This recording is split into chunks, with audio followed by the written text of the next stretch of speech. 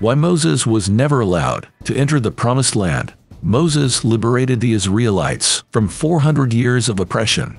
He survived snakes, scorpions, and decades of desert wandering. He led his people toward the promised land. Yet he was not allowed to enter. One moment of frustration cost him everything. Moses was a Hebrew, raised in Egypt. God spoke to him from a burning bush.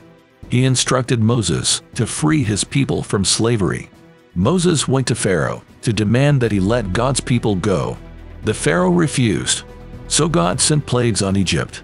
There were ten plagues, like turning the Nile River into blood and sending frogs, flies, and locusts. The last plague was killing all firstborn sons. The Pharaoh agreed to let the Israelites go, but he then changed his mind. He sent his army after them. The Israelites reached the Red Sea and were trapped, but God parted the waters so they could cross. After the Israelites crossed, the waters closed up and drowned the Egyptian army. At Mount Sinai, God gave Moses the Ten Commandments. While Moses was on the mountain, the Israelites grew impatient. They built a golden calf idol and began worshiping it. This angered God greatly. He made the Israelites wander the desert for 40 years. This sinful generation had to die off. For 40 years, the Israelites wandered through the Sinai desert. They followed the pillar of cloud by day and fire by night. They experienced hunger and thirst, but God provided manna and water. Finally, the Israelites reached the promised land. It was a new home where they could be free. But God did not allow Moses to enter. Near the end of the 40 years, Moses had disobeyed. The incident took place at the waters of Meribah. The Israelites were restless. They complained to Moses about no water. God instructed Moses to speak to a rock to bring forth water. Frustrated, Moses struck the rock twice instead. Water still flowed, but God was disappointed. Moses did not follow his precise instructions.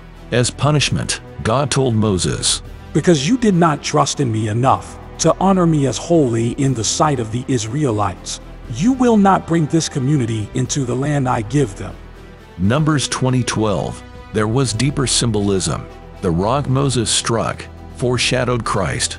The Apostle Paul explained, They all ate the same spiritual food and drank the same spiritual drink, for they drank from the spiritual rock that accompanied them, and that rock was Christ. 1 Corinthians chapter 10 verses 3 to 4. Jesus was struck once and sacrificed for salvation. Striking the rock again symbolized crucifying Jesus multiple times. Of course, Moses had no idea.